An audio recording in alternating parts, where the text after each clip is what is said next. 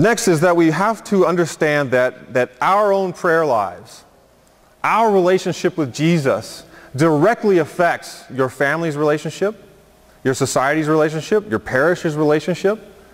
You know, I am the type of person, I, I, I, tend to, you know, if I get fired up about something, I want to, you know, just go take it out, right? That's just how I am. I want to fight.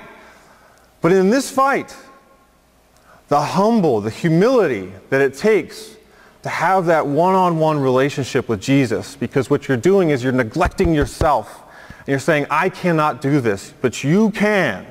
You can give me the grace. You can give me the courage that I need to do in order to lead my family, in order to lead in my parish, in order to lead in my culture and in my society. And that takes time. That takes effort. It takes discipline to really relinquish your own control and through prayer, through sacraments, allow Jesus to start to lead your life.